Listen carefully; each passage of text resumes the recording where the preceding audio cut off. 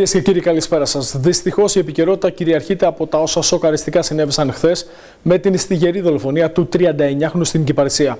Σήμερα ο 72χρονο δράστης οδηγήθηκε στα δικαστήρια όπου του απαγγέλθηκαν κατηγορίες, αρνήθηκε όμως να λάβει υπεράσπιση από δικηγόρο και εμφανίστηκε αμετανόητος, παίρνοντας προθεσμία για να απολογηθεί αύριο το πρωί. Η οδύνη και η θλίψη τεράστια για τον τρόπο με τον οποίο έχασε τη ζωή του ένας νέος άνθρωπος.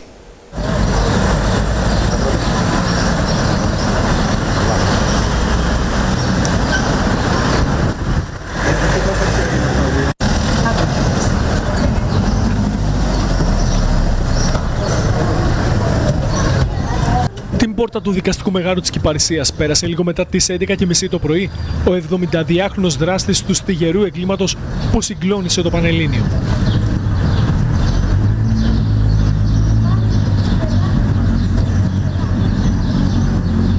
Ο 72χρονο, αφού πρώτα παραιτήθηκε του δικαιώματος να έχει δικηγόρο ή να του οριστεί αυταπάγγελτα δικηγόρος υπεράσπισης όπως προβλέπεται από τη διαδικασία, στη συνέχεια ζήτησε και πήρε προθεσμία με την απολογία του να μετατίθεται για αύριο.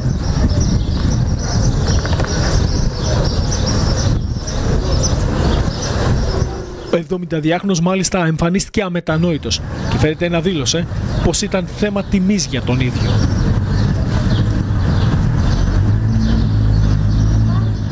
Οι κατηγορίες που του έχουν απαγγελθεί έχουν να κάνουν με ανθρωποκτονία από δόλο, παράνομη οπλοφορία, οπλοκατοχή και οπλοχρησία. Βλέπω ένα κύριο να ορίεται και να λέει συγκεκριμένα στο συγχωρεμένο πλέον φίλο Κωνσταντίνο ότι θέλω να κάνω διακοπή συμβολέου. Του μιλάει όμορφα το παλικάρι, το συγχωρεμένο και λέει ότι κύριε δεν γίνεται γιατί έχει υπογράψει συμβόλαιο. Να ορίεται, λες και είναι σελιασμένο. Τι μεθυσμένος, χίλιες φορές παραπάνω. Κάποια στιγμή το συγχωρεμένο, το παιδάκι ο Κωνσταντίνος του λέει: Κύριε, μπορεί να βγει λίγο έξω γιατί περιμένει ο κόσμος. Πράγμα το άκουσε και βγήκε έξω και τάριξε στους πελάτες τους άλλους που περιμένανε στη σειρά. Εγώ πήρα τα πράγματά μου και σηκώθηκα και έφυγα. Μετά από πέντε λεπτά λοιπόν, χτυπάει το τηλέφωνο και μου λέει: Στο Γερμανό έγινε αυτό και αυτό. Το στιγερό έγκλημα έχει σοκάρει τους πάντες πως αφαιρέθηκε μια ανθρώπινη ζωή με ένα τέτοιον τρόπο για έναν λογαριασμό 143 ευρώ. Τι να πω, έχουμε παγώσει όλοι. Είναι εξαιρετικό το παιδί, δεν το συζητώ, πολύ γνωστός. Είδαμε κινητοποίηση, αστυνομία, δεν ξέραμε τι ακριβώς είχε γίνει. Δεν είδα κάτι, δουλεύω στο μαγαζί δίπλα εδώ mm. ακριβώς. Ε, ασθενοφόρο και μάθαμε αυτό που έγινε. Την πήγε ο κύριος μέσα. Όχι, όχι, δεν άκουσα τίποτα. Είδα απλά μια κυρία που έτρεχε και λέει: Καλέστε αστυνομία. Ε, κυκλοφορεί ένας με, με όπλο. Τίποτα άλλο. Έτσι. Ναι, ναι εντελώς. Εντελώς. Ένα νέο παιδί, πολύ νέο, εξαιρετικός επαγγελματίας. Δεν έχω να πω τίποτα. Ο κόσμος είναι τρελός. Πραγματικά είμαστε συγκλονισμένοι. Εγώ γνώρισα και το παιδί γιατί είχα συναλλαγές στο κατάστημα και κανείς δεν περίμενε ότι θα συνέβαινε κάτι τέτοιο. Ε, η... Δεν έχει συμβεί κάποιο τέτοιο περιστατικό, ιδίως στο κέντρο της Κυπαρισίας και μάλιστα μέρα μεσημέρι. Και δυστυχώς από τη μάθαμε αργά το μεσημέρι ο άτυχος ε, υπάλληλος κατέληξε. Κάτι που πραγματικά έχει βυθίσει στο πένθος ολόκληρη την περιοχή. Έχω συγκλονιστεί, δηλαδή τρέμω. Δεν μπορώ να το φανταστώ αυτό το πράγμα ότι σε τόσο μικρή πόλη γίνεται, μπορεί να γίνει αυτό το κακό. Ολόκληρη η κοινωνία είναι σοκαρισμένη από τον άδικο χαμό του παλικαριού και τίποτα δεν μπορεί να απαλύνει τον πόνο του κενού που αφήνει πίσω του. Ανίποτη πραγματικά τραγωδία. Μαζί μας η Δέσπινα Ηλιοπούλου. Καλησπέρα, Δέσπινα. Καλησπέρα, Θέλει. Τι να πούμε τώρα. Ε, είμαστε όλοι σοκαρισμένοι και παραμένει αυτό το σοκ ε, πάνω από την ε, κοινωνία της Μεσσηνίας. Βλέπουμε και τα όσα βγαίνουν ως λεπτομέρειες από το όλο φωνικό. Θα τα δούμε και σε λίγο στο βίντεο ντοκουμέντου. Να πούμε λίγο για την υπόθεση της απολογίας. Ναι, να πούμε, βέβαια, να πούμε Θέμη ότι μέσα σε κλίμα οδύνης ε, σήμερα το απόγευμα αποχαιρέτησαν συγγενείς και φίλοι τον 38χρονο. Ε, πραγματικά η θλίψη είναι έτσι διάχυτη παντού, σε όλη τη Μεσσηνία να πούμε, και έχει συγκλονίσει όλο το Πανελλήνιο. Ε, βέβαια, να πούμε ότι σήμερα το πρωί ο, πέρασε έτσι την πόρτα του δικαστηρίου της Κυπαρισίας, ο 72χρονο. Ε, οδηγήθηκε από τα κρατητήρια της Καλαμάτας, εδώ στην αστυνομική Διεύθυνση Μεσσηνίας ε, κρατείται ο 72χρονος, αφού πρώτα ε, παρετήθηκε του δικαιώματος να έχει δικηγόρο ή να του οριστεί αυτεπάγγελτα δικηγόρος υπεράσπισης όπως ε, προβλέπεται. Στη συνέχεια ζήτησε και πήρε προθεσμία για να απολογηθεί μόνος του αύριο. Έτσι λοιπόν απολογείται αύριο το πρωί, ε, όμως να πούμε ότι οι κατηγορίες που του έχουν απαγγελθεί είναι η ανθρωποκτονία από δόλο, παράνομη οπλοφορία, όπλοκατοχή και οπλοχρησία. Αίσθηση όμως ε, Θέμη προκαλεί το γεγονός ότι ο 72χρονος ε, φαίνεται να εμφανίζεται αμετανόητος Ναι, και ναι. μάλιστα να λέει ότι ήταν ένα θέμα τιμής. Τι να πει κανείς τώρα, δηλαδή. Δεν έχω λόγια κυριολεκτικά. Να δούμε όμως αυτό που συγκλονίζει πριν από λίγα λεπτά παρουσιάστηκε από την ε, τηλεόραση του Μέγκα και το κεντρικό τους δελτίο ειδήσεων, το βλέπουμε εδώ. Είναι ε, το σοκαριστικό πραγματικά ε, ντοκουμέντο μέσα από το κατάστημα. Ε, να το δούμε. Είναι ο δράστης, ο οποίος ε, κινείται, πάει πίσω. Αν μπορεί να παγώσει λίγο η κάμερα, ε, σε αυτό το σημείο ε, για να κατανοήσουμε το βίντεο ε, ότι φτάνει μέχρι εκείνο το σημείο. Μπροστά υπάρχει ένα διαχωριστικό plexiglass ε, το οποίο ε, απλά ε, προστατεύει, το ξέρουμε έτσι, στο πλαίσιο και της όλης διαδικασίας των μέτρων που έχουν ε, ληφθεί για την ε, πανδημία. Αυτό το διαχωριστικό plexiglass πάει μέσα λοιπόν από τον κισέ και βλέπετε από τι κοντινή ατμόσφαιρα, ε, ε, ε, Απόσταση. ε, απόσταση ε, προκαλεί όλο αυτό ο, το, ε, το άγριο έγκλημα, της στιγερή δολοφονία. Ε, πυροβολή. Είναι, είναι τρομερό Τον Θέμη. 38χρονο. Ε, είναι, δεν πρόλαβε ο 38χρονος να αντιδράσει. Τι να αντιδράσει. Κοίτα, κυκλοφορεί στη συνέχεια με το όπλο στα χέρια, κραδένοντας το όπλο στα χέρια. Κοίταξε να δεις με τι τρόπο μπαίνει μέσα και τι ακριβώς κάνει. Βλέπουμε δηλαδή είναι το 38. αδιανόητο, είναι τόσο σοκαριστικό. Ε, Δεν είναι- έχω λόγια. δεν- δηλαδή, δεν πραγματικά υπάρχει. είναι οι, οι εικόνες αυτές που κυκλοφόρησαν πριν από λίγο από το Μέγκα, το βλέπετε κι εσείς εδώ, ε, έχουν σοκάρει το Πανελλήνιο. Ε, δεν υπάρχει καμία μα καμία. Ε, Νομίζω αντίστοιχη τέτοια κατάσταση να την έχουμε δει να συμβαίνει με τέτοιο εμψυχρό τρόπο. Έτσι. Είναι ψυχρό δολοφονία, Θέμη, από ό,τι φαίνεται. Και βλέπουμε ότι ε, ο 38χρονος ασχολείται με κάτι άλλο. Έχει κάποια χαρτιά στα χέρια του. Ναι. Συνεπώς, ε, Δεν ήταν κάτι αντιλαμβάνεται τι ξαφνικό. ακριβώς Ναι. συμβαίνει. Πραγματοποιεί την απειλή του. Ε, και Και κοίταξε, φεύγει με ψυχραιμία, ναι, κοίταξε να βλέπουμε, δεις τι έτσι. γίνεται. Φεύγει ψύχρεμος από το κατάστημα. Στη συνέχεια βγαίνει έξω σαστισμένος, ψάχνει να δει τι έγινε. Τρομερό. Δεν Είναι υπάρχει, τρομερό. δεν υπάρχουν, λόγια, δεν λόγια. υπάρχουν λόγια. Δεν υπάρχουν λόγια. Κυριολεκτικά σοκάρει αυτό το βίντεο ντοκουμέντο της στιγερή δολοφονίας που παρουσιάστηκε από το Μέγκα. Ξανά να πούμε δύναμη στους οικείους του. Δηλαδή, ο, ο- όσο και να το, μην μπορούμε να, το, να του δώσουμε έτσι την αξία που πρέπει, πρέπει να το λέμε γιατί αυτοί οι άνθρωποι πρέπει να συνεχίζουν τη ζωή τους χωρίς τον δικό τους άνθρωπο και το κενό που αφήνουν πίσω τους είναι αδιανόητο, είναι τεράστιο. Είναι τεράστιο να πούμε Θέμη εδώ ε, ότι έχει ένα μωρό. Ε, ήταν νιόπαντρος, είχε ξεκινήσει τη ζωή του και φτάνει αυτή η στιγμή να τα καταστρέψει όλα. Να, Τι να Δεν πούμε. έχω λόγια. Να δούμε τι θα πει αύριο στην απολογία του 70διάχρονος. Ε, να συνεχίσουμε εμείς λίγο περνώντας στο υγειονομικό πεδίο. Ε, να δούμε την εικόνα με τα κρούσματα και να δούμε πώς έχει φτάσει σήμερα η όλη αυτή η κατάσταση με την πανδημία που συνεχίζει να μας απειλεί με τον ένα ή τον άλλον τρόπο. Στην αίθουσα σύνταξη είναι στις 30. Καλησπέρα σας. Καλησπέρα Θέμη. 10 τα κρούσματα στη Μεσσηνία. Δέκα τα κρούσματα στη Μεσσηνία. Παρ' όλα αυτά στην Πελοπόννησο είναι διψήφιοι οι αριθμοί έως και τριψήφιοι για την περίπτωση της Αχαΐας. Να τα πάρουμε όμως από την αρχή και να σου πω ότι και σήμερα είχαμε ψυχρολουσία με άνω των 3.000 κρούσματα στην Ελλάδα. 3.228 οι νέες μολύνσεις που ανακοίνωσε ο ΕΟΔΗ. Έχουμε ξεπεράσει τις 288 συνολικά από την αρχή της πανδημίας. Καλπάζει ο κορονοϊός. Ε, να πούμε ότι και οι θάνατοι είναι πολλοί. Είναι 73 αυτοί που ανακοινώθηκαν σήμερα. Ανησυχητικά είναι τα νούμερα για τους διασωληνωμένους, διότι πρόκειται και σήμερα για άνω των 700. Ε, σταθερά ανωδικά είναι, ε, ε, σταθερά ανωδικά είναι ο αριθμός αυτός. 776 σήμερα οι διασωληνωμένοι. Ε, στην ε, περιοχή μας, όπως είπες και εσύ, 10 τα κρούσματα για τη Μεσσηνία. 117 όμως είναι οι νέες μολύνσεις για την Αχαΐα. Και στις 34 περιφέρειες που παρουσιάζουν διψήφιο αριθμό είναι και η Κορινθία με 28, η Ηλία με 24, η Αρκαδία με 18 και η Αργολίδα με 15. Η Λακωνία έχει 4 μολύνσεις. Χρειάζεται ιδιαίτερη προσοχή, το επαναλαμβάνουμε. Ε, και στο πλαίσιο αυτής της ε, εικόνας που μας μεταφέρεις, να περάσουμε και στο επόμενο θέμα. Καθώς η, η φάση που εξελίσσεται με το πέρασμα της ε, πανδημίας αφήνει έντονα τα σημάδια της πίεσης στο Εθνικό Σύστημα Υγείας. Τα είπε η Σύση Τριάντου και τα περιέγραψε σε αριθμούς. Πάμε να δούμε και τις αναφορές, επίσημες αναφορές από τον Διευθυντή Δημόσιας Υγείας της Περιφερεια Πελοποννήσου. Αν και οδεύουμε στην ολοκλήρωση το πρώτο δεκαημέρου του Απριλίου, η πανδημία είναι εδώ και δείχνει τα δόντια της, με την εικόνα της πίεσης να είναι μεγάλη στο Εθνικό Σύστημα Υγείας και και τα νοσοκομεία της Πελοποννήσου. Ε, το κακό είναι, και το ξαναλέω, μην κοιτάμε τα κρούσματα, να κοιτάμε το σύστημα υγείας. Το σύστημα υγείας αυτή τη στιγμή είναι ένα πολύ, ε, σε πολύ δύσκολη φάση. Στην, στην, πιο δύσκολη φάση εδώ και το, τόσο καιρό που έχουμε κορονοϊό. Έχουμε το μεγαλύτερο αριθμό νοσηλειών. Έχουμε σχεδόν το 90% των ΜΕΘ στην Ελλάδα. Έχω κατ' επανάληψη πει ότι έχουμε χίλιες ΜΕΘ στην Ελλάδα και θεωρητικά ένας μέσος όρος θα έπρεπε να είχαμε πανευρωπαϊκά ήταν 2.500. Άρα αντιλαμβάνεστε ότι αυτή τη στιγμή υπάρχει μια φοβερή πίεση στο σύστημα υγείας, κυρίως στην Αθήνα και στη Θεσσαλονίκη. Ε, αλλά ούτε νομίζω ότι ο αριθμός των. Ε, έχουμε φτάσει και εμείς, ξέρετε, έχουμε 10 διασωληνωμένους, δεν μπορούμε να είμαστε ε, ευχαριστημένοι από αυτό το, το νούμερο. Και βέβαια οι νοσηλευόμενοι παραμένουν 49 στην Κόρθο και 39 στην Τρίπολη, λέω δύο ενδεικτικά νούμερα, που σημαίνει ότι τα νοσοκομεία μας δέχονται πίεση. Όπως τονίζει ο Διευθυντή Δημόσιας Υγείας της Περιφέρειας Πελοποννήσου, η κατάσταση έχει πάρει ανησυχητικά χαρακτηριστικά σε ό,τι έχει να κάνει με τα κρούσματα που δεν δείχνουν να μειώνονται. Άρα η Αρκαδία δείχνει ότι αυτό που λέω εγώ ότι έχουν δύο προβλήματα. Ένα ότι ήταν αρκετά τα ενεργά κρούσματα το προηγούμενο διάστημα. Δηλαδή βλέπουμε ότι δεν, ήταν, ε, δεν είχε καμφθεί οι προηγούμενες. Μην ξεχνάτε, είμαστε από τις αρχές Μαρτίου σε μια πάρα πολύ δύσκολη κατάσταση. Άρα φαίνεται ότι δεν κάφθηκε στις 15 μέρες.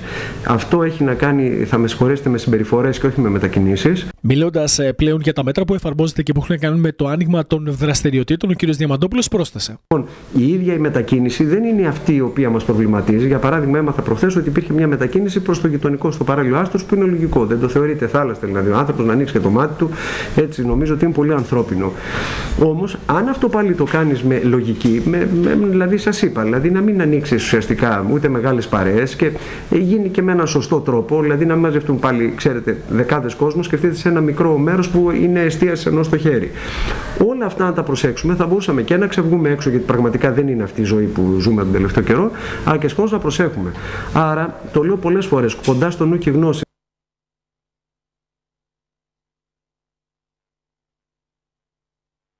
Λοιπόν, θα μείνουμε σε αυτά. Ε, σημειώνουμε ε, ότι σε ό,τι έχει να κάνει με το νοσοκομείο της Καλαμάτας έχουμε 20 νοσηλευόμενους και 4 ε, νοσηλευόμενους ε, στη μονάδα εντατικής θεραπείας COVID. Καταλαβαίνετε ότι είναι για μία ακόμη φορά, ε, θα λέει κανείς, οριακή κατάσταση στην ΜΕΘ ε, και για μία ακόμη φορά κρίσιμη κατάσταση με πολλά άτομα ε, και στην κλινική COVID του νοσοκομείου της Μεσσηνιακής Πρωτεύουσας. Ε, συνεχίζουμε εμείς ε, στον υγειονομικό χάρτη, γιατί υπάρχουν οι εξελίξεις με τα self-test που μπαίνουν στη ζωή μας και θα μιλήσουμε με τον πρόεδρο του Φαρμακευτικού Συλλόγου Μεσσηνίας, τον κύριο Αργυρόπουλο. Καλησπέρα σας. Καλησπέρα. Κύριε Αργυρόπουλε, ε, πρεμιέρα για τα self-test στα φαρμακεία της Μεσσηνίας. Αρχικά έχουν φτάσει, είμαστε σε ένα, θα λέει κανείς, ικανοποιητικό επίπεδο διάθεσης πλέον σε κάθε φαρμακείο στην περιοχή μας; Ναι, πιστεύω, έχουν φτάσει, τα έχουμε παραλάβει από σήμερα το πρωί. Η πλατφόρμα έχει ανοίξει από χθες αργά το βράδυ, οπότε κινείται ομαλά η χορήγηση των self-test στους μαθητές και στους ε, καθηγητές του Λυκείου. Να Προς το παρόν πρέπει να ναι, ναι. έχουν προφανώς, προφανώς τώρα θα χρειαστούμε τη βοήθειά σας για να μας εξηγήσετε πώς θα λειτουργήσει ναι. από εδώ και πέρα η ναι. διαδικασία. Με ποιον τρόπο οι πολίτες μπορούν να ναι, σπέβδουν στα φαρμακεία, να ετούνται αυτά τα self-test, αλλά ή δυνατόν να πούμε και με ποιον τρόπο οι πολίτες μπορούν να πραγματοποιούν αυτά τα self-test, αν είναι εύκολη διαδικασία. Ωραία. Ε, ναι, ε, θα σας εξηγήσω ότι προς το παρόν χορηγούνται μόνο στους μαθητές λυκείου και στους καθηγητές. Ε, από την άλλη εβδομάδα μάλλον θα, αρχίσει να, θα αρχίσουν να χορηγούνται σε όλους τους ασφαλισμένους, σε όλο τον κόσμο τέλος πάντων, από το 18 ετών μέχρι 65. Προς το παρόν όμως χορηγούνται μόνο στους μαθητές λυκείου και στους καθηγητές λυκείου, σε κανέναν άλλον. Ναι. Το κάθε φαρμακείο έχει παραλάβει από 75 τεστ, τα οποία τα έχουμε βάλει σε σακουλάκια τέλος πάντων με όλα τα απαραίτητα να πούμε για να μπορούν να το πραγματοποιούν μόνοι τους στο σπίτι τους απαγορεύεται ρητά να γίνουν τα τεστ αυτά στα φαρμακεία. Νομίζω ότι το ξεκαθαρίζουμε λοιπόν, αυτό, γιατί είχε υπάρξει μια γενικότερη ναι. κουβέντα στην αρχή. Τα self-test θα ναι. γίνονται στην οικία και με το συγκεκριμένο τρόπο ε, που έχει ήδη παρουσιαστεί από την πλευρά του Υπουργείου. Είναι εύκολο να γίνουν. Να σας ρωτήσω και τι διαφορές υπάρχουν ε, με τα λεγόμενα ε, τα rapid που όσον αφορά το, θα, όσον αφορά το σκέλος αυτό, θα ήθελα να σας το εξηγήσει ο γραμματέας του Στυλόγου, το τεχνικό σκέλος. Εγώ ένα πράγμα που θα ήθελα να επισημάνω, ο οποίος είναι εδώ δίπλα μου, εγώ θα ήθελα να επισημάνω ότι και αρνητικά να βγουν τα τεστ, αυτό δεν, ε, δεν σημαίνει ότι δεν πρέπει να παίρνουμε όλα τα μέτρα ασφαλείας. Θα πρέπει να, ε, να συμπεριφερόμαστε με, παίρνοντας όλα τα μέτρα που ισχύουν και σήμερα. Αυτό είναι μεγάλη επισήμανση και θα πρέπει να το καταλάβει ο καθένας. Δεν σημαίνει ότι το τεστ βγαίνει αρνητικό και μπορούμε να κινούμαστε ελεύθεροι χωρίς προφύλαξη. Τώρα, όσον αφορά το τεχνικό σχέδιο, θα Ωραία. μπορούσε να ε, μιλήσει μέχρι, ο μέχρι να δούμε και τον γραμματέα του Φαρμακευτικού Συλλόγου, να δούμε εμείς ε, και ναι. το σχετικό βίντεο που έχει έτσι δώσει στη δημοσιότητα το ε, Υπουργείο και να συνομιλήσουμε στην ε, συνέχεια.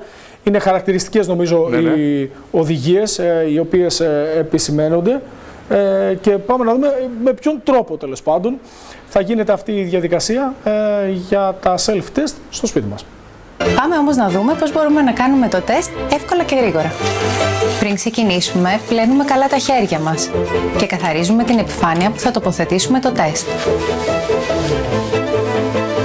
Φυσάμε καλά τη μύτη μας και πλένουμε ξανά τα χέρια μας. Έτοιμοι;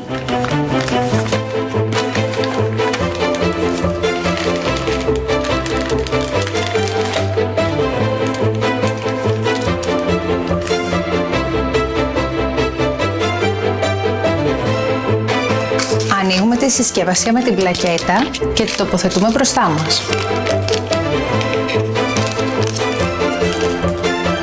Ανοίγουμε τη συσκευασία με το στυλαίο. Προσέχουμε να μην ακουμπήσουμε το μαβάκι στην άκρη του. Ανοίγουμε το μπουκαλάκι με το υγρό. Ρίχνουμε το υγρό στο σωληνάριο κρατώντας το όρθιο.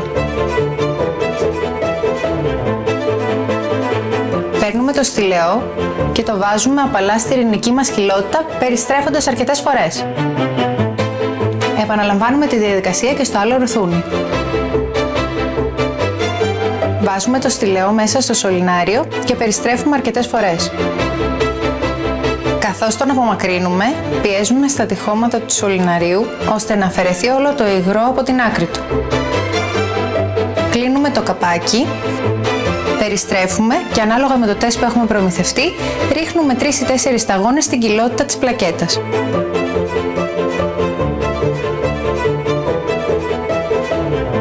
Αυτό ήταν. Τώρα περιμένουμε 15 λεπτά για να ελέγξουμε το αποτέλεσμά μας.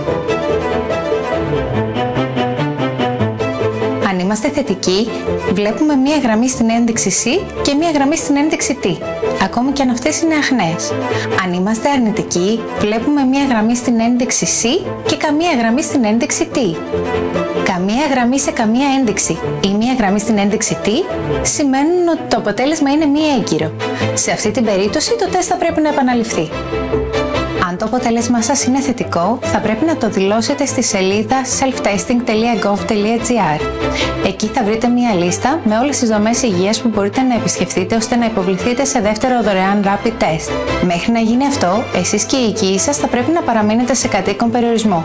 Στην περίπτωση που ο επιβεβαιωτικός έλεγχος είναι θετικός, θα επικοινωνήσει μαζί σας η Γενική Γραμματεία Πολιτικής Προστασίας για περαιτέρω οδηγίες και για ιχνηλάτηση των επαφών σας. Αυτά λοιπόν επισημένονται από το Υπουργείο Υγείας και πάμε εμείς να καλησπέρισουμε και τον γραμματέα του Φαρμακευτικού Συλλόγου Μεσσηνίας, τον ε, κύριο Νικόλαο Μαθιόπουλο. Κύριε Μαθιόπουλε, ε, μια διαδικασία πρωτόγνωρη θα έλεγε κανείς. Ε, Προφανώς όλοι πρέπει να προσαρμοζόμαστε στα δεδομένα αυτής της δύσκολης εποχής με την ε, πανδημία. Φτάσαν τα self-test. Να μας πείτε λίγο τι περιέχουν οι συσκευασίες και πώς ακριβώς πλέον θα γίνονται τα self-test, αν είναι μια εύκολη διαδικασία όπως την περιγράφει το Υπουργείο. Ωραία, καλησπέρα και από μένα. Ε, για μια ακόμη φορά το κράτος κατάλαβε ότι ο φαρμακοποιός είναι το σημείο πρωτοβάθμιας περίθαψης για τους ασφαλισμένους, για τους πολίτες και μετά από την προγραμματισμό, το ραντεβού, τώρα έχουμε και την, το, να μοιράσουμε και τα self-test. Ε, προς το παρόν ήρθε μιας εταιρείας ε, self-test, το οποίο ήταν σε συσκευασία των 25 τεστ, το οποίο καλεστήκαμε εμείς να το βγάλουμε, να το να το, να το συσκευάσουμε σε ατομικά, σε ατομικές μορφές, ώστε να το χορηγούμε στους ε, μαθητές των λυκείων και τους καθηγητές. Μέχρι, μέχρι αυτή τη στιγμή. Ε, το, κάθε, το κάθε τεστ περιλαμβάνει ένα ενημερωτικό φυλάδιο, το, το manual, το SPC του, Ναι. του εμβολίου, δηλαδή τον τρόπο χρήσης, ένα βακοφόρο στυλαιό, μια κασέτα, τη δοκιμαστική κασέτα, το, το διάλειμμα ανείχνευσης και ένα καπάκι δοσομετρικό. Τώρα Η γνωρίζετε διαδικασία πολύ είναι καλά τα απλή και δεδομένα. μπορεί να γίνει- Εγώ θα πω ότι γνωρίζετε πολύ καλά τα δεδομένα. Πόσο εύκολο είναι να γίνει από τους πολίτες. Ε, μ, υπάρχει, υπάρχει διαφημιστικό σποτ στην τηλεόραση που τρέχει αυτή τη στιγμή. Το είδαμε, Υπάρχουν ναι. σαφέστατες οδηγίες. Η διενέργεια δεν μπορεί να γίνει στο φαρμακείο, το έχουμε πει, έχει νομοθετικά ρυθμισμένη. Ο ασθενής, ο, πελά, ο ασθενής που θα κάνει το τεστ ή ο, ή ο μαθητής που θα το κάνει ή ο καθηγητής, είναι πάρα πολύ εύκολο να το κάνει ακολουθώντας τα βήματα ε, του τεστ. Άρα θεωρώ ότι δεν θα υπάρχει κάποιο πρόβλημα ε, στη διενέργειά του. Ωραία. Και στην, πόσα και στην πόσα ανάγνωση τεστ του. θα χορηγούνται σε κάθε πολίτη;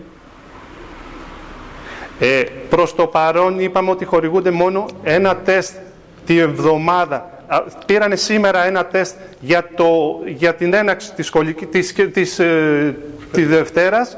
Ε, πήρε ένα τεστ ο κάθε μαθητής και ο κάθε καθηγητής. Από εβδομάδα μπορεί να δοθούν καινούριε οδηγίες ώστε να μπορούν να χορηγούμε και δύο τεστ γιατί όπως αναφέρουν ότι θα γίνεται ένα τεστ Δευτέρα και Πέμπτη για καλύτερο, για καλύτερο screening του πληθυσμού. Η πλατφόρμα έχει ανοίξει, ο κόσμος μπορεί να ενημερωθεί. Να σας ευχαριστήσω πάρα πολύ. Η πλατφόρμα, Χρειάζεται- η πλατφόρμα Ναι. είναι ανοιχτή, δουλεύει τέλεια.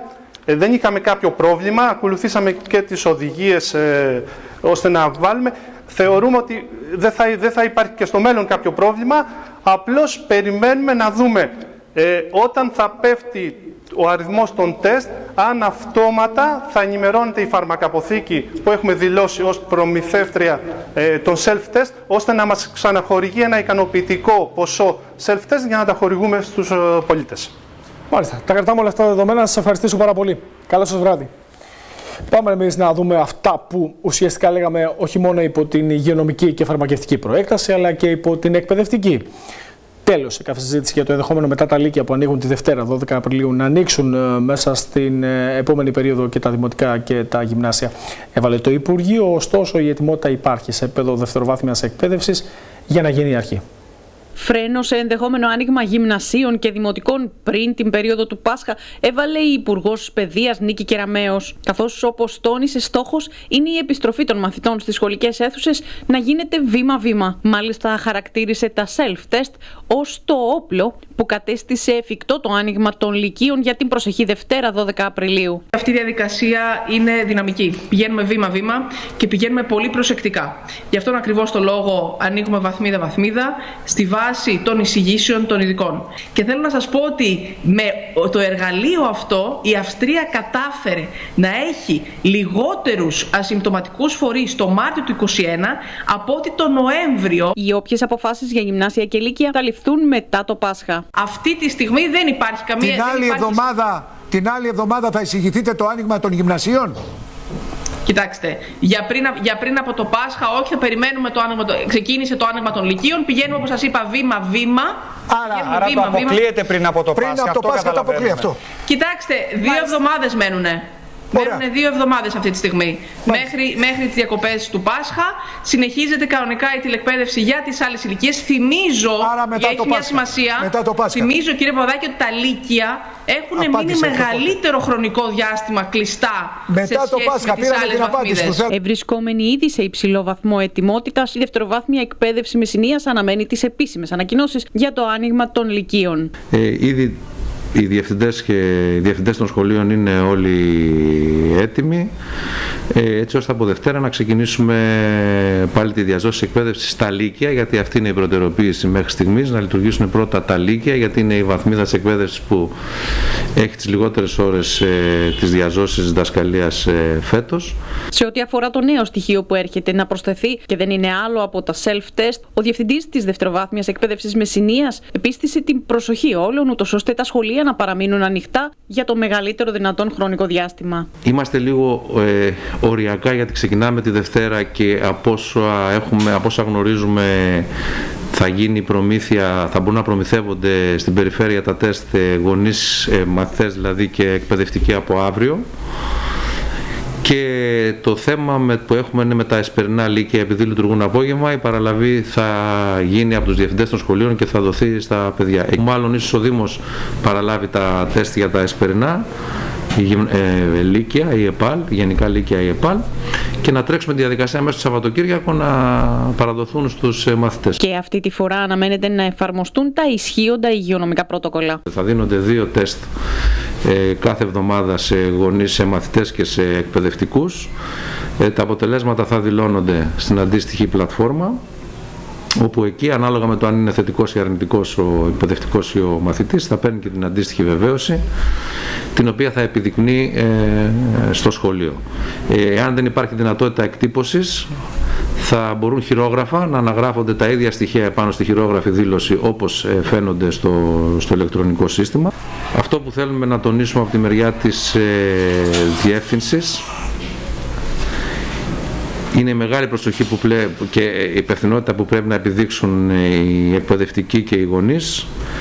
Θα πρέπει να συμμετέχουν σε αυτή τη διαδικασία των ε, τεστ, να δηλώνονται πραγματικά και να μην εύχομαι να μην αντιμετωπίσουμε προβλήματα. Να το ελπίσουμε να μην υπάρξουν προβλήματα. Πάμε εμείς να επιστρέψουμε στο καυτό θέμα των ημερών που έχει να κάνει με την Ποπελιά Καλαμάτας. Πριν από λίγη ώρα είχαμε μία ανακοίνωση από την ομάδα ε, προστασίας ε, και διαχείρισης ε, του Ποπελιά Καλαμάτας. Και είναι και καυστική προς την στάση του Υπουργείου, αλλά προδιαθέτω ότι θα υπάρξει Μία ακόμα παράταση Δέσποινα Ελιοπούλου στην όλη υπόθεση για την προσφυγή που έχει καταθέσει στο Συμβουλίο της Επικρατείας. Ε, από ό,τι φαίνεται δεν θα συζητηθεί, σύμφωνα βέβαια όπως αναφέρει η ομάδα σε δελτίο τύπου, ε, στην επικείμενη συνεδρίαση του Συμβουλίου της Επικρατείας. Ήταν η... ορισμένη για τις 13 του μήνα. 13 του μήνα, ναι. Η προσφυγή που έχει κατατεθεί κατά της ακύρωσης της απόφασης Αποστόλου. Ε, βέβαια, να πούμε ότι στο συγκεκριμένο δελτίο τύπου η ομάδα αναφέρει ότι θα συνεχίσει τον αγώνα μέχρι τα ευρωπαϊκά όργανα και τα δικαστήρια να δικαιώσουν ε, αυτό το αίτημα. Επικρίνουν όμως από την άλλη πλευρά και την ε, στάση του Υπουργείου. Έχουμε λοιπόν ε, την πρόσφατη συνεδρίαση του, που έγινε στο Υπουργείο Αγροτικής mm Ανάπτυξης. Είδαμε που κατέληξε θέμη. είδαμε ξεκάθαρα ότι η στάση του Υπουργείου είναι υπέρ της απόφασης του ε, Αποστόλου. έχει τη δική της σκοπιμότητα, ναι, έχει τη δική της σκοπιμότητα. η στάση του Υπουργείου και μένει να απαντηθούν πολλά από αυτά τα ερωτήματα. Επειδή είπες για το ναι. κομμάτι ότι ναι, θα φτάσουν μέχρι τα ευρωπαϊκά όργανα. Το θέμα όμως φτάνει στην Ευρωβουλή. Δεύτερη ερώτηση από τον κύριο Φράγκο, τον οποίο θα τον έχουμε αύριο το βράδυ. Ναι.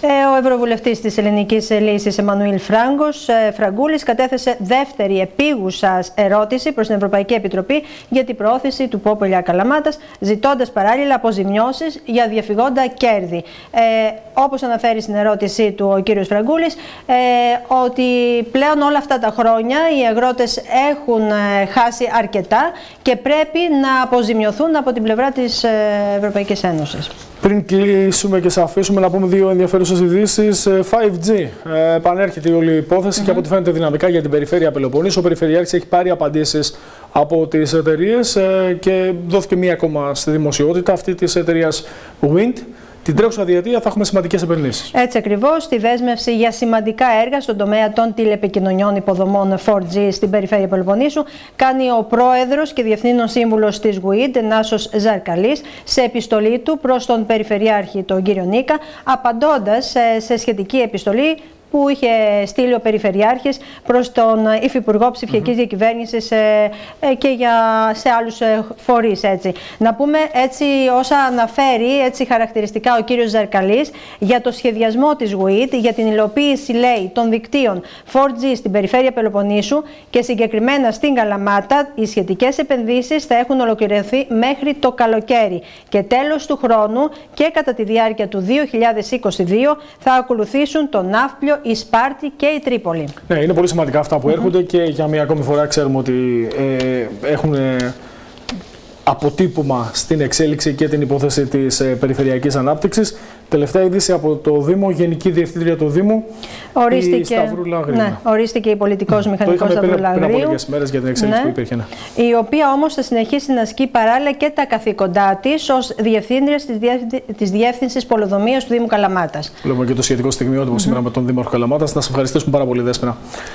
Πάμε να συνεχίσουμε εμείς. Η μέρα ανήκει στην οικονομία ε, και θα πούμε γιατί ανήκει στην οικονομία. Απόψε, όπως έχετε δει ήδη και στο σχετικό κρόλ, έχουμε την ε, συνέντευξη του αναπληρωτή Υπουργού Οικονομίας, ε, του κ. Θεοδόρου Σκυλακάκη, στην τηλεόραση Best.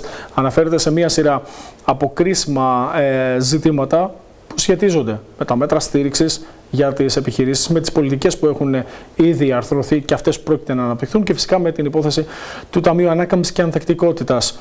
Είπαμε, ανήκει η μέρα στην οικονομία. Θα τα δούμε σε λίγο με τον κύριο Σκυλακάκη. Πολλά όμως περισσότερα θα μας πει ο πρόεδρος του Μελητηρίου Μεσσηνίας, ο οποίος ε, μαζί με άλλους φορείς της περιφέρειας ε, Πελοποννήσου είχαν τη δυνατότητα σήμερα να συνομιλήσουν με τον Υπουργό Οικονομικών, τον ε, κύριο Χρήστο Σταϊκούρα, και να καταθέσουν τις απόψεις τους σε μια ευρεία ε, συζήτηση, τηλεδιάσκεψη. Καλησπέρα σας, κύριε Ξηγόρε.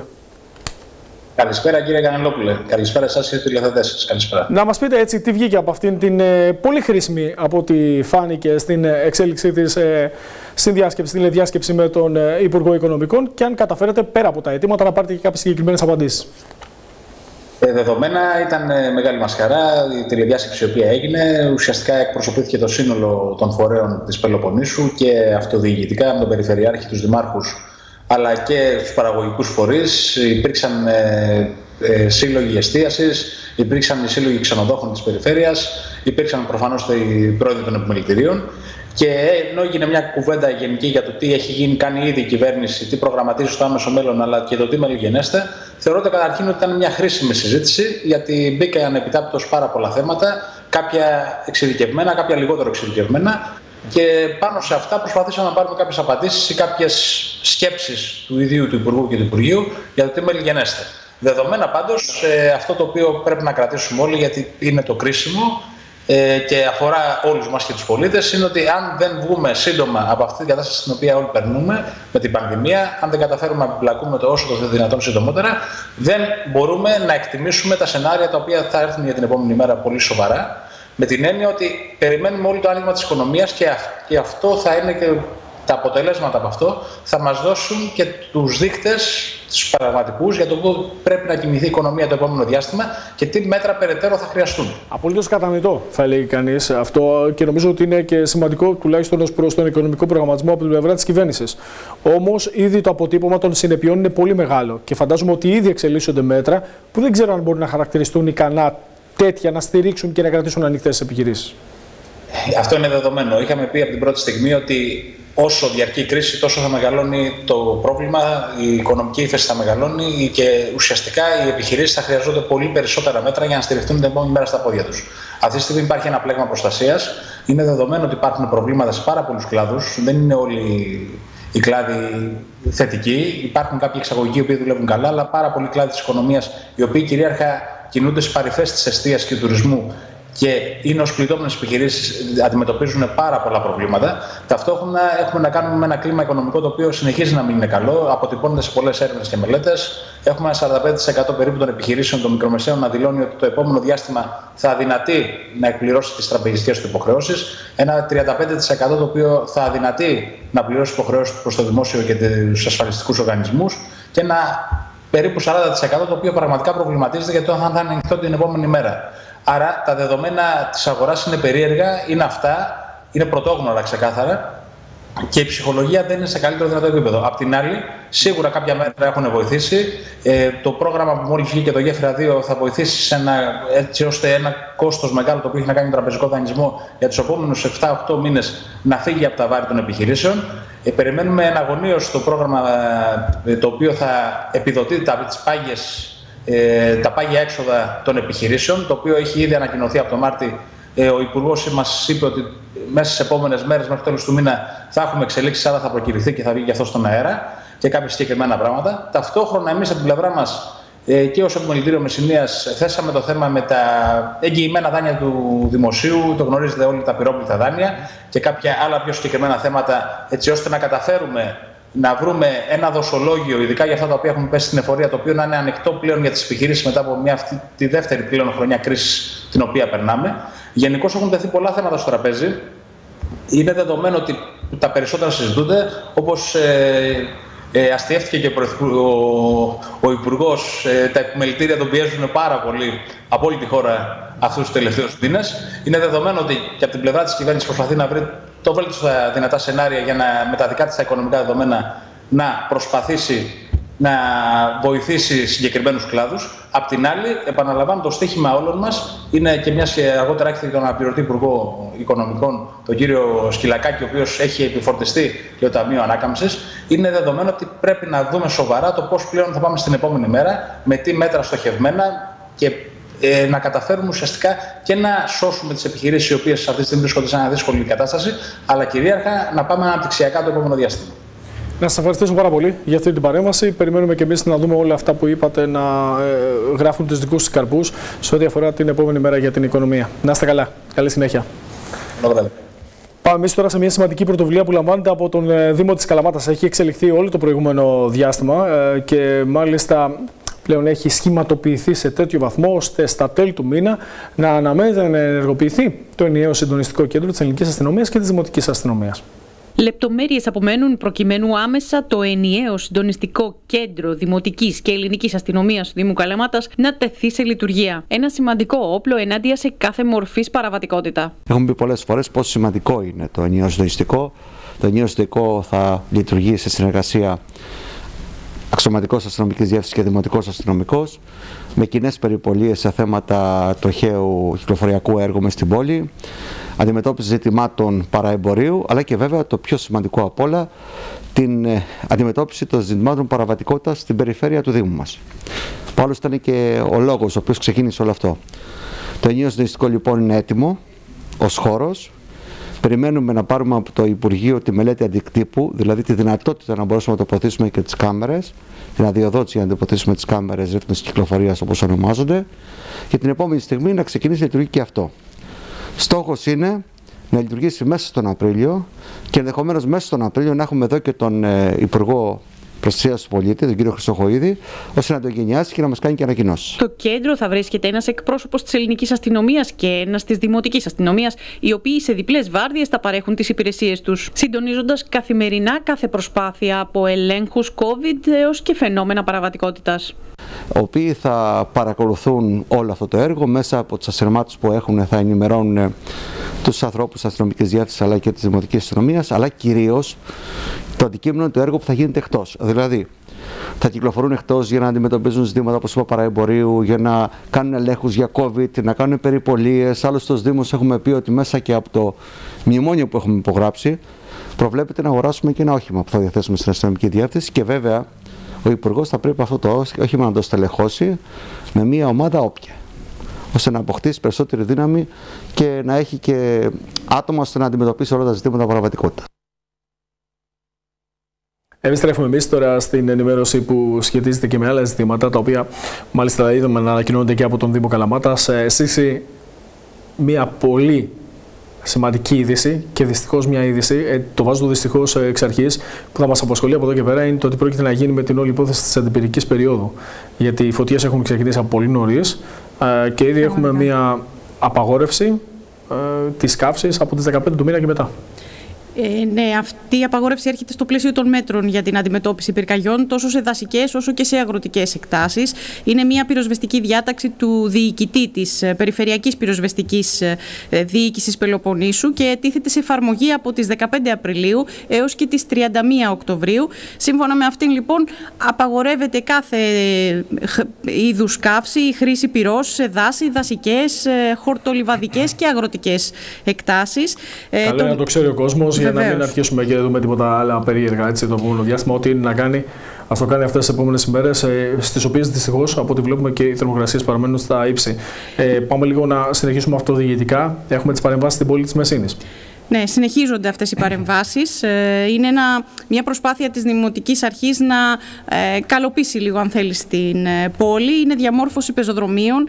Ε, γίνονται οι παρεμβάσεις αυτές ε, στις διασταυρώσεις των οδών Δαριώτου και Αγίου Ιωάννου και της οδού Παπανδρέου, από Σωτήρη Πατατζή έως και τη διασταύρωση με την Αριστομένος. Μιλάμε για ένα συνολικό μήκος περίπου 750 μέτρων. Είναι πεζοδρόμια και εργασίες που βοηθούν στην ασφαλή ε, στην ασφάλεια των πολιτών, γίνονται πιο χρηστικοί οι δρόμοι και όπως τονίζει και ο Δήμαρχος είναι ε, το, και η, περιβαλλοντική αναβάθμιση της πόλης ε, και η καθαριότητα που είναι στο σύνολο των παρεμβάσεων αλλά αυτών. Και η βελτίωση καθημερινότητας σίγουρα κατά πολύ μεγάλο βεβαίως, και σημαντικό βεβαίως. βαθμό. Εσείς θα τα πούμε σε λίγο με την αθλητική ενημέρωση. Πάμε να συνεχίσουμε με το διηγητικό προσκήνιο για μία ακόμη κυκλοφορία πρόβλημα που είναι στην πόλη της Μάτας. Το ζήτημα απασχόλησε την τελευταία συνεδρία του Δημοτικού Συμβουλίου στο πλαίσιο και των αναπλάσεων που υλοποιούνται. Είναι διαχρονικά ένα από τα μείζωνα ζητήματα της Καλεμάτας, ειδικά σε ό,τι αφορά στο κέντρο της πόλης. Ο λόγος για το κυκλοφοριακό, το οποίο τέθηκε στην τελευταία συνεδρίαση του Δημοτικού Συμβουλίου από τον επικεφαλής της μείζωνας μειοψηφία του σώματος, Βασίλη Κοσμόπουλο. Πριν από την ανάπλαση της κεντρικής πλατείας της πόλης, είχαμε προτείνει την κατασκευή στο βόρειο τμήμα αυτής τη υπογείου πάρκινγκ 300 περίπου θέσεων, αλλά η πρότασή μας αυτή απερίφθη από τον προηγούμενο Δήμαρχο, ο οποίος δρούσε πάντα αποσπασματικά ανάλογα με τις υπάρχουσες χρηματοδοτήσεις. Σε ό,τι αφορά στο υπόγειο πάρκινγκ, το οποίο επανήλθε στο προσκήνιο, χαρακτηριστική ήταν η απάντηση του Αντιδημάρχου Νίκου Μπασακίδη. Όλοι οι επισκέπτες της πόλης τι θα σημάδευαν; Το υπόγειο αυτό πάρκινγκ στο κέντρο της. Άρα θα δημιουργόταν κομφούζιο, ένα έντονο κυκλοφοριακό πρόβλημα με ε, πολύ μεγάλο περιβαλλοντικό αποτύπωμα. Όλοι οι δρόμοι θα οδηγούσαν στο κέντρο, των αυτοκινήτων εννοώ, ε, θα οδηγούσαν στο κέντρο της πόλης. Ενώ ποιο είναι, ποιος είναι ο στόχος, να υπάρξει ε, η κατασκευή αποκεντρωμένων θέσεων πάρκινγκ. Οι ερωτήσεις που τέθηκαν για το κυκλοφοριακό πολλέ, κάποιες στο πλαίσιο του έργου της ανάπλαση της πλατείας Υπαπαντή σε σχέση και με το πολύ συζητημένο θέμα της ανάδειξης των αρχαιοτήτων. Ο Δήμαρχος Θανάσης Βασιλόπουλος απάντησε στα ζητήματα που αφορούν στο κυκλοφοριακό και τις ενέργειες της Δημοτικής Αρχής για την εξέβρεση νέων χώρων στάθμευσης σε κεντρικά σημεία της πόλης. Είναι γεγονός πως τι μελλοντικές παρεμβάσεις και αναπλάσεις που θα υλοποιηθούν αναγκαστικά θα περιοριστούν κάποιες θέσεις στάθμευσης προκειμένου να αποδοθεί ζωτικός χώρος για τους πεζούς. Όταν μιλάμε για το σχεδιασμό μιας σύγχρονης πόλης, πάντα έχουμε κατά νου πως οφείλουμε να αποδώσουμε περισσότερο χώρο στους πεζούς και επίσης να περιφερειήσουμε και να ενισχύσουμε όσο μπορούμε την προσβασιμότητα των εμποδιζόμενων ατόμων στην Καλαμάτα. Δεν φαντάζομαι να ισχυριστεί κάποιος πως περιποιεί η τιμή για την πόλη μας, στην πλατεία της Παπαντή, να κατακλείζει τα αποχήματα που καβαλάνε πάνω. Είναι επιβεβλημένο και προς όφελος της πόλης να το αλλάξουμε, να αλλάξουμε την εικόνα αυτή της πλατείας. Δεν φαντάζομαι επίσης να ισχυριστεί κάποιος πως μα τιμάει η κατάσταση των πεζοδρομίων της Αναγνωσταρά, τα οποία με τη γεωμετρία και με τα πλάτη που έχουν καθιστούν δεκαετίες τώρα βασανιστική ή και επικίνδυνη τη διαδρομή για τους πεζούς με ανεβοκατεβάσματα στο δόστρωμα. Είναι λοιπόν το έργο της ανάπλασης επιβεβλημένο και προς όφελος της πόλης. Και βέβαια έρχεται και το δίκτυο πεζοδρόμων στο ιστορικό κέντρο. Τι έχουμε να αντιμετωπίσουμε με όλε αυτές τις αναπλάσεις, προφανώς θα λείψει θέση στάθμευση. Το πρόβλημα βέβαια όχι μόνο της Καλαμάτας, αλλά σχεδόν όλων των πόλεων της χώρας που έχουν μια δυναμική. Πώς πρέπει λοιπόν να κινηθούμε; Πρώτον, όπως ήδη γνωρίζετε και αναφέρθηκε, έχει ολοκληρωθεί η πρώτη φάση του ΣΒΑΚ, η οποία θα χαράξει το μελλοντικό χάρτη της πόλης σε ό,τι έχει να κάνει με την κινητικότητα. Έχω μιλήσει αρκετές φορές για το πόσο σημαντικό εργαλείο είναι το ΣΒΑΚ και τι κάνει. Δεν τα επαναλάβω. Δεύτερον, έχω ήδη προαναγγείλει καιρό τώρα πως η Δημοτική Αρχή μέσα στο επόμενο διάστημα θα προβεί στην εκπόνηση κυκλοφοριακή μελέτης που θα βοηθήσει το έργο του ΣΒΑΚ. Η μελέτη αυτή θα προσδιορίσει την ελεγχόμενη στάθμευση και θα προτείνει χώρους στάθμευσης στην πόλη, λαμβάνοντας υπόψη όλα τα μελλοντικά έργα ανάπλασης, λόγω των οποίων θα καθούν θέσεις στάθμευσης. Προτεραιότητά μας είναι να εξυπηρετηθούν και οι υπηρεϊκοί και οι μόνιμοι κάτοικοι, όπως ακριβώς είπε και ο Νίκος, προκειμένου να μπορούν να σταθούν τα οχήματά τους. Τρίτον, ήδη βρίσκεται η υποστέση επιτροπής που θα απαρτίζεται από το στελέχη του Δήμου και θα αξιολογήσει την υφιστάμενη και μελλοντική κατάσταση, προτείνοντας παράλληλα για τη διαχείριση στάθμευση και τη δημιουργία νέων οργανωμένων χώρων στάθμευση. Εξετάζοντας διάφορα σενάρια υπόγειων, επίγειων, υπέργειων χώρων, με μια πρώτη προσέγγιση να πω ότι ναι, υπάρχουν πλατείες σε κεντρικά σημεία που θα μπορούσαν να φέρουν υπόγεια πάρκου. Και υπάρχουν και χώροι που θα μπορούσαν να κατασκευαστούν υπέργειες κατασκευές, αλλά υπάρχουν και ιδιωτικά υπόπεδα για τα οποία θα μπορούσε να ξεκινήσει μια συζήτηση ενοικίασης. Να δούμε λοιπόν ποια σενάρια είναι ρεαλιστικά και ποια όχι. Στόχος μας με όλες αυτές τις κινήσεις που ανέφερα είναι να βρεθεί μια ολοκληρωμένη και χωρικά ευρύτερη λύση στο θέμα της άθμιση, με το βλέμμα βέβαια στραμμένο στο μέλλον. Ακούσαμε εμείς τον Δήμαρχο Καλαμάτα να περιγράφει ε, την όλη υπόθεση που έχει να κάνει με τις επικείμενε παρεμβάσεις σε ό,τι αφορά τα κυκλοφοριακά δεδομένα στην πόλη. Ε, τώρα, για κυκλοφορία λέμε. Ε, και τώρα να πούμε ότι δεν υπάρχει καν κυκλοφορία και δεν υπάρχει και καν κίνηση όλο αυτό το προηγούμενο διάστημα σε ό,τι έχει να κάνει με τον τουρισμό και τα τουριστικά λεωφορεία. Μαζί μας ο τουριστικός πράκτηρας ο κύριος Βασίλης Τυργιλίβας. Καλησπέρα σας. Καλησπέρα κύριε Καναλόπουλε, καλησπέρα στους τηλεθεατές μας. Διαβάσαμε σήμερα και ενημερωθήκαμε για την κοινή υπουργική απόφαση, ε, για την έκτακτη επιδότηση που πλέον θα λάβουν οι επιχειρήσεις που διαθέτουν τουριστικά λεωφορεία και έχουν πληγεί εξαιτίας της πανδημίας. Υπεγράφει αυτή η οικία από τον Υπουργό Οικονομικών και τον ε, κύριο Θεοχάρη. Ε, καλύπτει; Κύριε Κανελόπουλε, είναι κάτι το οποίο το περιμέναμε. Είναι ένα από τα μέτρα στήριξης που έχουμε προαναφέρει, που είναι ε, πέρα από τις επιστρεπτές που είναι σε πολύ καλή κατεύθυνση και στηρίζουν τις επιχειρήσεις για να έχουν μια τόνωση οικονομική και να μπορέσουν έτσι να συντηρηθούν όλο αυτό το διάστημα της απραξίας που υπάρχει όσον αφορά τα τουριστικά γραφεία και τα τουριστικά λεωφορεία. Ένα άλλο μέτρο στήριξης το οποίο περιμένουμε είναι η περιφέρεια Πελοποννήσου ε, που έχει να καλύψει ένα ποσό το 50% των εξόδων του 19 με μία επιστρεπτέα επιχορήγηση, επιδότηση και ένα άλλο μέτρο στήριξης για τα τουριστικά λεωφορεία είναι και η ε, επιδότηση αυτή που έχει υπογραφεί με τη σημερινή κοινή υπουργική απόφαση για την έκτακτη επιδότηση επιχειρήσεων οι οποίες διαθέτουν τουριστικά λεωφορεία και έχουν πληγεί εξαιτίας της πανδημίας. Τα ποσά από ό,τι φαίνεται είναι μικρά πάντως. Δεν καλύπτουν, ε, φαντάζομαι, το 100% της ζημιάς που έχετε υποστεί σαν κλάδος. Τα, τα, τα ποσά είναι πάρα πολύ μικρά. Μιλάμε για ποσό 2.400 για ένα λεωφορείο τουριστικό το οποίο είναι ένα χρόνο και ένα μήνα. Συμπληρώσαμε ένα χρόνο και ένα μήνα. 8 Απριλίου, κοιτάω το ρολόι μου είναι σήμερα.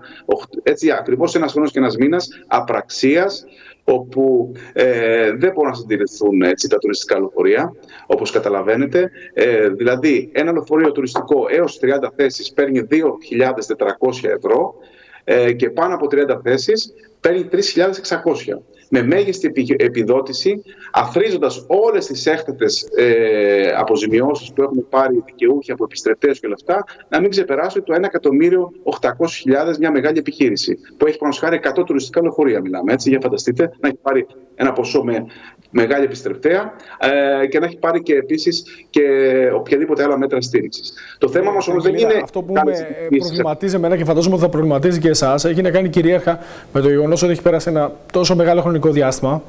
Και αυτό το μεγάλο χρονικό διάστημα ε, κρίνεται ικανός ώστε να μην μπορούν να καλυφθούν τα κενά τα οποία έχουν καταγραφεί ε, πλέον ε, στα ταμεία των ίδιων των επιχειρήσεων. Και επειδή μπροστά μας έχουμε και μία ακόμα τουριστική περίοδο που κανείς δεν ξέρει πώς θα πάει, φαντάζομαι ότι δεν έχει ούτε καν προβλεφθεί αυτό. Ναι, δεν έχει προβλεφθεί, αλλά το θέμα είναι ότι Μιλάμε για ένα παλιό δυσκίνητο μοντέλο χρηματοδότησης από την περιά του Υπουργείου, έτσι, γιατί έτσι συμπεριφέρονται. Για, γιατί, γιατί θα σας το πω αυτό. Γιατί η χρηματοδότηση έπρεπε να γίνει από το Δεκέμβριο του 2020. Εμείς, ε, όπως σας είπα πριν, ζούμε ένα ε, άπραγο επαγγελματικά χρόνο. Άρα λοιπόν τα τουριστικά λεωφορεία έτσι, είναι καταχωρημένα ήδη σε δύο Υπουργεία. Το Υπουργείο Τουρισμού, με τις άδειες που παίρνουμε, και το Υπουργείο Τουρισμού. Πέρα από αυτό, κάθε χρόνο περνούμε από επιθεώρηση. Δηλαδή, τα στοιχεία και οι ιδιοκτήτες και πόσες θέσεις έχει το κάθε λεωφορείο είναι γνωστά. Δεν χρειάζεται να, να, να, να ψηφιστεί αυτή η οικία και να περάσει ένας χρόνος και ένας μήνας για να φτάσουμε στο σημείο να, να καταλήξουμε να ψηφίσουμε μια οικία και μετά να, να έρθει και ο ελεκτικό μηχανισμός που θα καθυστερήσει την όλη διαδικασία και να φτάσουμε πάλι σχεδόν μετά από 8 μήνες για να γίνει αποζημίωση. Ένας ιδιοκτήτης που είναι ο ίδιος οδηγός, που υπάρχουν τέτοια μοντέλα πάρα πολλά στην, ε, στην πατρίδα μας ή έχουν δύο οδηγούς. Πώς θα χρηματοδοτηθεί αυτός ο άνθρωπος και πώς θα ζήσει ένα χρόνο τώρα; Δηλαδή έπρεπε να έχει ήδη προβλεφθεί με fast track διαδικασίες να ενισχυθούν οι ιδιοκτήτες των τουριστικών λεωφορείων όλης της χώρας. Α τα δούμε όλα αυτά να συμβαίνουν το επόμενο διάστημα. Κρατάμε αυτή την αναφορά τουλάχιστον ε, για κάτι θετικό, αλλά είναι μια σταγόνα στον ωκεανό όπως την περιγράψατε κι εσείς. Να σας ευχαριστήσω πάρα πολύ για αυτή τη σύνδεση ελπίζουμε, ελπίζουμε και το επιδιώκουμε και το θέλουμε. Ευχαριστώ πολύ. Πάμε ξανά τώρα στο χώρο της υγείας, στον αγώνα για μια καλύτερα δημόσια υγεία και οι εργαζόμενοι του Παναρκατικού Νοσοκομείου, όπου με αφορμή την Παγκόσμια ημέρα για μια ακόμη φορά τόνισαν τα χρόνια προβλήματα που υπάρχουν, με το σημαντικότερο να είναι αυτό της πρόσληψης του μόνιμου προσωπικού. Υγεία, το σημαντικότερο αγαθό που πλέον στις μέρες μας είναι κάτι παραπάνω από ζητούμενο και όχι πλέον δεδομένο. Με αφορμή την Παγκόσμια ημέρα υγείας, μέλη του Συλλόγου Εργαζομένων του Παναρκαδικού Νοσοκομείου πραγματοποίησαν συμβολική διαμαρτυρία αλλά και συνάντηση με τον Διευθυντή προκειμένου να παρουσιάσουν τα προβλήματά τους τα οποία είναι χρόνια και παραμένουν στο χώρο αυτό. Η Ελληνική Ομοσπονδία Εργαζομένων στα Δημόσια Νοσοκομεία έχει προκηρύξει σήμερα αυτή τη διαδικασία και αυτή τη δράση για τα σωματεία πανελλήνια. Ε, τα προβλήματα μας είναι αρκετά. Ε, είχαμε προβλήματα και στο παρελθόν, αλλά τώρα έχουν με την πανδημία έχουν φανεί, έχει φανεί όλο το, όλη η γύμνια του συστήματος. Παρόλες τις προσπάθειες που κάνουμε, αυτό που ζητάμε σήμερα είναι να ενισχυθεί το δημόσιο σύστημα υγείας. Είναι αυτό το σύστημα το οποίο στήριξε όλη αυτή τη, και στηρίζει και συνεχίζει να στηρίζει ε, την περίοδο όλη αυτή της πανδημίας. Ένα χρόνο τώρα και φυσικά θα έχουμε και συνέχεια από ό,τι βλέπουμε, δεν τελειώνει. Ε, ε, την ένταξή μας στα βαρέα και ανθυγιεινά, το οποίο είναι ένα πάγιο αίτημα των εργαζόμενων, αν δεν ε, ενταχθούν οι υγειονομικοί στα βαρέα και ανθυγιεινά, τα οποία προβλέπει και ο ΕΦΚΑ βέβαια, με βάση τη βαρύτητα των, ε, του επαγγέλματος, πότε αλήθεια θα μπορούσε να ενταχθεί το υγειονομικό προσωπικό στα βαρέα; Ένα από τα πάγια αιτήματα και το πιο σημαντικό είναι επιτέλους η πρόσληψη μόνιμου προσωπικού, καθώς μπορεί με το επικουρικό να έχει δοθεί μια μεγάλη ανάσα στο σύστημα υγείας, ωστόσο τα προβλήματα καθημερινά αυξάνονται, νέες μονάδες δημιουργούνται στα νοσοκομεία και χρειάζεται άμεσα μόνιμο προσωπικό. Ε, χρειαζόμαστε προσλήψεις προσωπικού. Ε, το επικουρικό προσωπικό είναι μία λύση ανάγκης, απαραίτητο. Όμως χρειαζόμαστε μόνιμο προσωπικό. Οι ανάγκες είναι μεγάλες, ανοίγουν συνέχεια τμήματα καινούρια στο νοσοκομείο, COVID ε, και όχι μόνο. Ετοιμάζεται και η μονάδα εμφραγμάτων από όσο γνωρίζουμε που θα χρειαστεί επιπλέον προσωπικό. Χρειαζόμαστε μόνιμο προσωπικό να εκπαιδευτεί, να παραμείνει στο σύστημα, ε, διότι τα προβλήματα προστίθονται κάθε φορά. Τώρα σπουδαία μαντάτα για το γήπεδο του Μεσσηνιακού, αφού από την Οικονομική Επιτροπή της Περιφέρειας Πελοποννήσου εγκρίθηκε η προγραμματική σύμβαση για την ανακατασκευή του. Με προπολογισμό 300.000 ευρώ και χρηματοδότηση από το πρόγραμμα ΚΑΠ 20% της Περιφέρειας Πελοποννήσου θα υλοποιηθεί το έργο βελτίωσης και συντήρησης του ιστορικού γηπέδου του Μεσσηνιακού Γυμναστικού Συλλόγου. Τα ευχάριστα μαντάτα προήλθαν μετά το τέλος της συνεδρίασης της Οικονομικής Επιτροπής, όπου εγκρίθηκε η προγραμματική σύμβαση. Που ενέκρινε σήμερα η Οικονομική Επιτροπή είναι η προγραμματική σύμβαση που θα συναυθεί μεταξύ Περιφέρειας Πελοποννήσου και του Μεσσηνιακού Γυμναστικού Συλλόγου 1888. Είναι όπως γνωρίζετε από τους αρχαιότερους αθλητικούς συλλόγους της χώρας ένας πολύ δραστήριος σύλλογος με πάρα πολλά παιδιά που αθλούνται σε πάρα πολλά αθλήματα. Στις εργασίες που πρόκειται να πραγματοποιηθούν σύμφωνα με την μελέτη που εκπώνησε ο Μεσσηνιακός Γυμναστικός Σύλλογος αναφέρθηκε ο Αντιπεριφερειάρχης Μεσσηνίας. Εμείς με αυτή την προγραμματική σύμβαση προϋπολογισμού 300.000 ευρώ που χρηματοδοτείται από το πρόγραμμα ΚΑΠ 20% από την Τρίπολη δηλαδή, από τον Περιφερειάρχη, είναι ένα έργο που θα δώσει έναν καινούριο τάπητα στον αγωνιστικό χώρο. Γνωρίζετε ότι αυτή τη στιγμή έχει φυσικό χλωτάπητα και πρόκειται να αντικατασταθεί με τεχνητό χλωτάπητα της τελευταίας γενιάς. Βεβαίως θα δημιουργηθούν οι ανάλογες υποδομές για άρδευση και διευθέτηση των ομβρίων υδάτων καθώς επίσης και εγκατάσταση ενός συστήματος διαβροχής του χλωτάπητα. Είναι πολύ σημαντικό έργο για την Καλαμάτα, για την αθλούμενη νεολαία και είμαστε ιδιαίτερα χαρούμενοι. Αν υπάρχει κάποια ερώτηση είμαι στη διάθεσή σας. Στεκόμενος στη σπουδαιότητα του έργου για την νεολαία που αθλείται στο συγκεκριμένο γήπεδο, ο Αντιπεριφερειάρχης Μεσσηνίας Στάθης Αναστασόπουλος τόνισε πως και μέσω των εκπτώσεων θα υπάρξουν και περαιτέρω παρεμβάσεις. Σύμφωνα και με δήλωση του Περιφερειάρχη, με την έκπτωση που θα πάρουμε από αυτό το έργο, τα χρήματα πάλι θα τα βάλουμε στο γυμναστικό σύλλογο.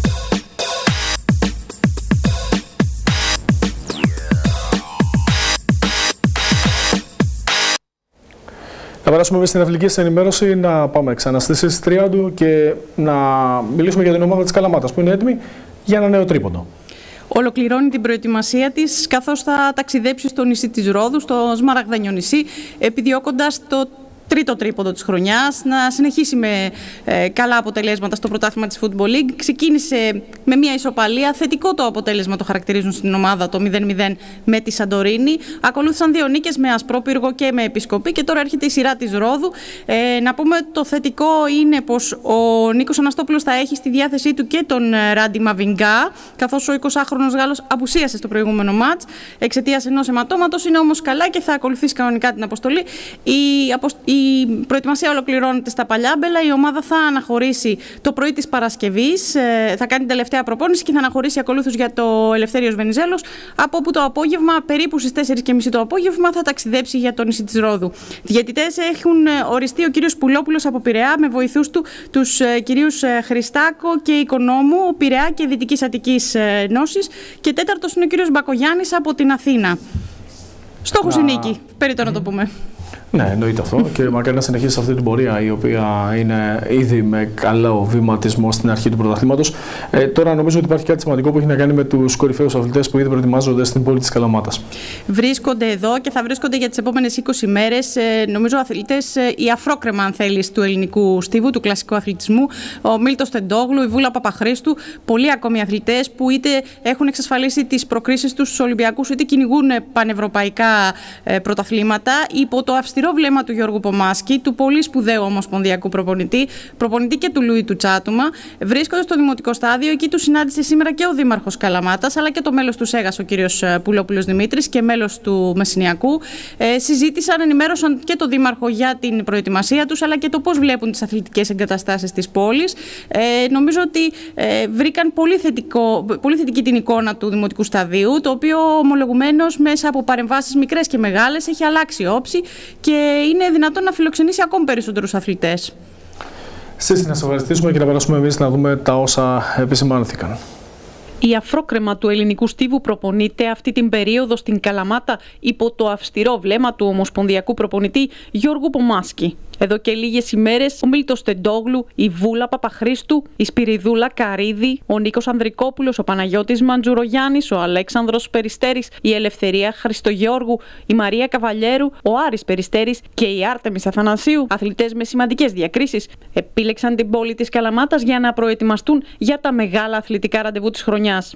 Τους αθλητές καλωσόρισε στη Μεσσηνιακή πρωτεύουσα και ο Δήμαρχος Καλαμάτας, ο οποίος είχε την ευκαιρία να συνομιλήσει με τον Ομοσπονδιακό προπονητή τόσο για τους αγωνιστικούς στόχους της χρονιάς, όσο και για τις αθλητικές εγκαταστάσεις της πόλης μας, στις οποίες για μια ακόμη χρονιά ο έμπειρος προπονητής επιλέγει να προετοιμάσει τους αθλητές του. Όταν ακούμε τον Δημήτρη τον Πουλόπουλο, που όλοι γνωρίζουμε πόσο πολύ αγαπάει τον αθλητισμό και τον στίβο και πόσο αγαπάει τον αθλητισμό στην περιοχή μας, να λέει ότι το στάδιο είναι σε καλή κατάσταση, κάτι καλό γίνεται εδώ πέρα. Και κάτι καλό γίνεται γιατί τον αγαπάμε τον αθλητισμό. Και το έχουμε πει από την πρώτη στιγμή που αναλάβαμε.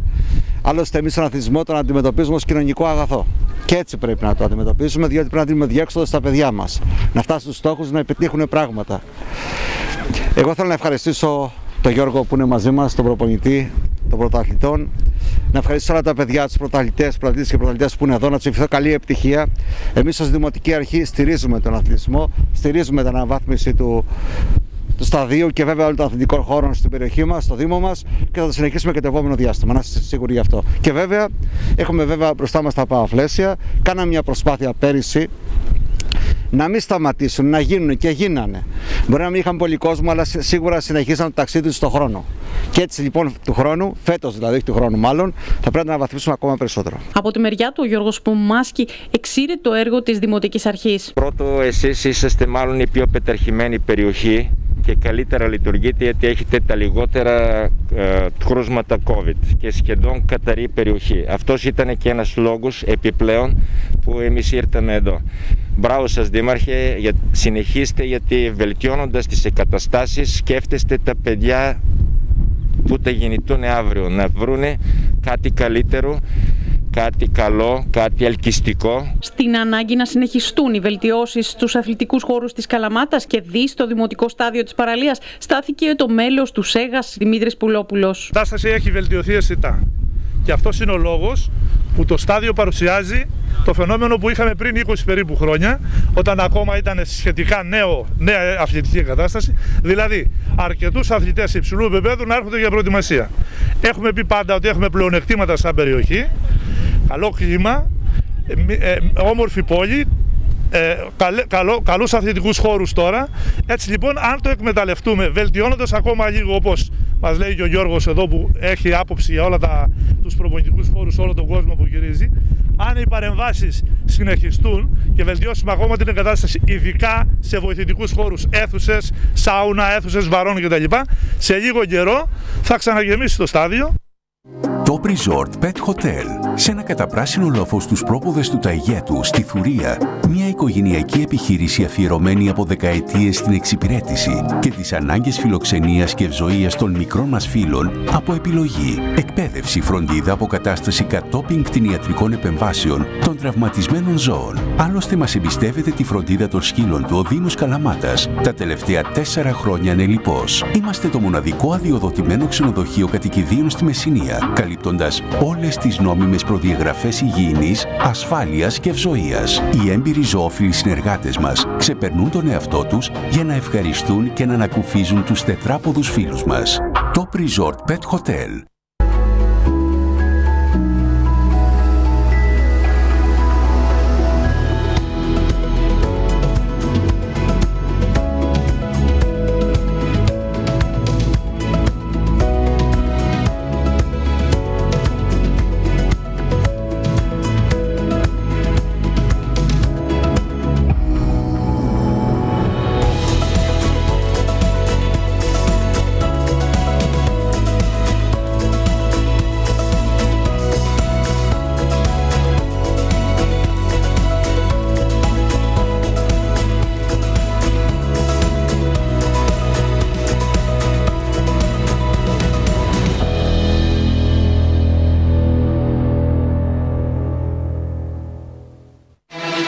Υπουργή της Τρανς, μεταφορές από το 1943. Καναδάς, Αυστραλία, Αμερική, Ευρώπη, Αθήνα. Παντού δίπλα σας. Μεταφορά ελαιολάδου και δεμάτων. Χρόνια τώρα στηρίζουμε τους παραγωγούς και μεταφέρουμε το ελαιόλαδό σας παντού. Σπουργή της Τρανς, τώρα και μεταφορά ευπαθών προϊόντων σε ελεγχόμενη ψήξη. Ανταποδίδουμε την εμπιστοσύνη σας με νέες μειωμένες τιμές. Σπουργή της Τρανς, Λεωφόρος Αθηνών 186. Τηλέφωνο 27210 22 266.